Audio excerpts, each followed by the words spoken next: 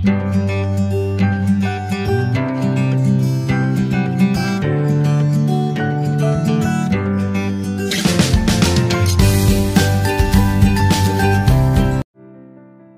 Friends അസ്സലാമു അലൈക്കും welcome back to Aliya's kitchen ഇന്ന് ഞാൻ വന്നിരിക്കുന്നത് ഒരു ടെൻഡർ കോക്കനട്ട് ഐസ്ക്രീമിന്റെ റെസിപ്പി ആയിട്ടാണ്.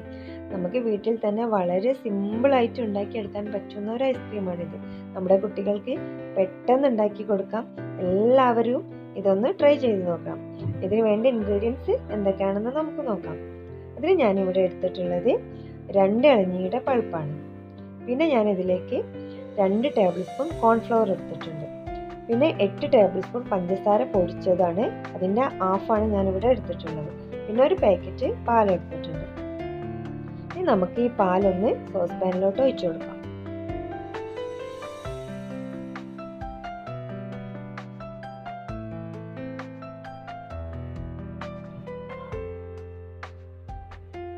ഇനി നമുക്ക് ഇതിൽ നിന്നും കുറച്ച് പാലെടുത്ത് ഈ കോൺഫ്ലവർ ഒന്ന് മിക്സ് ചെയ്തെടുക്കാം.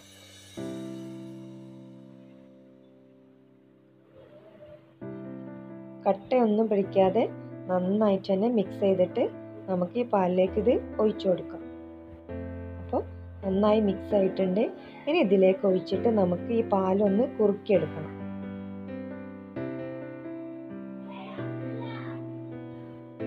നമുക്ക് ഈ പാലൊന്ന് കുറുക്കിയെടുക്കാം. നമ്മുടെ പാലിവിടെ കുറുകി വന്നിട്ടുണ്ട്. ഇനി നമ്മൾ നേരത്തെ പൊടിച്ചു വെച്ച പഞ്ചസാര ഇതിലോട്ട് ചേർത്ത് കൊടുക്കാം.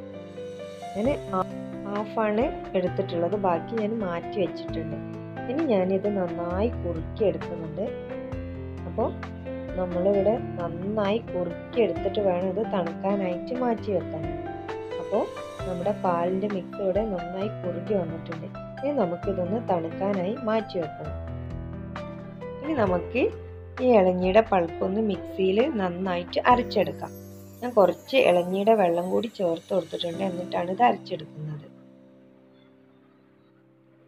നന്നായി അരയണമെന്നൊന്നുമില്ല കുറച്ച് അതിൽ കടിക്കാനും ഉണ്ടായിക്കോട്ടെ. അപ്പം നമുക്ക് നല്ലൊരു ടേസ്റ്റാണ്. ഇനി നമുക്ക് നേരത്തെ ബാക്കി വെച്ച പഞ്ചസാരയിലേക്ക് രണ്ട് മുട്ട ചേർത്ത് കൊടുത്ത് ഒന്ന് ബീറ്റ് ചെയ്യാം.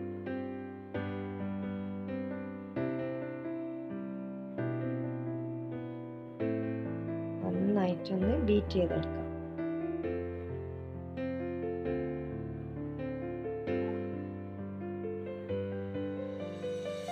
അപ്പോൾ മുട്ട ഇവിടെ നന്നായി ബീറ്റായി വന്നിട്ടുണ്ട്. ഇനി നമുക്ക് ഈ ഇളഞ്ഞിയുടെ പഴുപ്പൊന്ന് ഇതിലോട്ട് ഇട്ട് കൊടുക്കാം.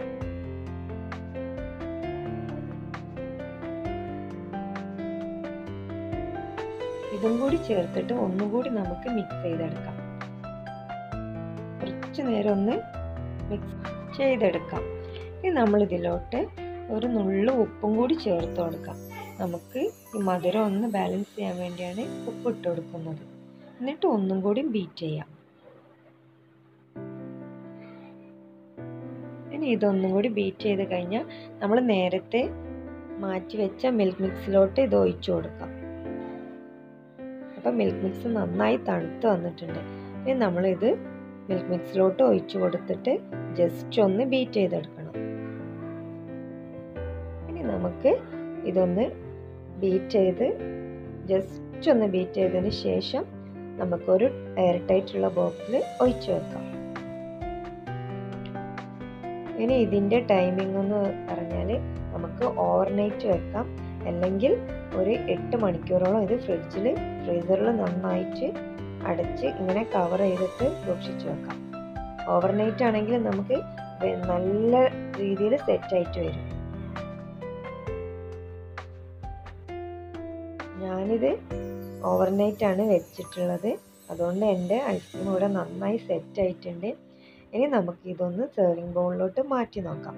അപ്പോൾ നമ്മുടെ ടെൻഡർ കോക്കനട്ട് ഐസ്ക്രീം ഇവിടെ റെഡി ആയിട്ടുണ്ട്. എല്ലാവർക്കും ഇഷ്ടമായി എന്ന് വിചാരിക്കുന്നു. ഇഷ്ടമായാൽ ലൈക്ക് ചെയ്യുക ഷെയർ ചെയ്യുക കമന്റ് ചെയ്യുക പിന്നെ എന്റെ ചാനൽ ഇതുവരെ സബ്സ്ക്രൈബ് ചെയ്യാത്തവരാണെങ്കിൽ സബ്സ്ക്രൈബ് ചെയ്ത് തന്നെ ഒന്ന് സപ്പോർട്ട് ചെയ്യുക താങ്ക്സ് ഫോർ വാച്ചിങ്